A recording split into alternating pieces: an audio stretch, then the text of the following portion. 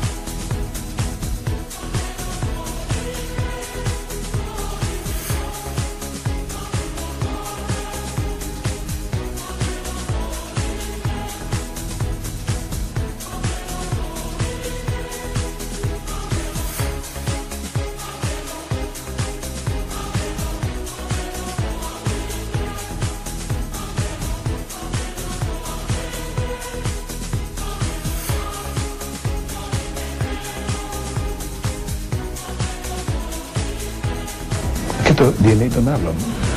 Και αυτό φάνηκε σε ένα πείραμα το οποίο έγινε στην Αμερική από τον Cliff Baxter, ο οποίος από μόνος από να δώσει ένα κομμάτι του DNA του, το πήγε 600 χιλιόμετρα μακριά και το κράτησε σε συνθήκες που να μπορεί κανείς να μετρήσει ε, ηλεκτρικό δυναμικό πάνω του με νανοτεχνολογία.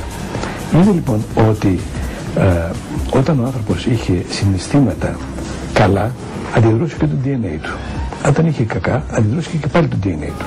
Αυτό είναι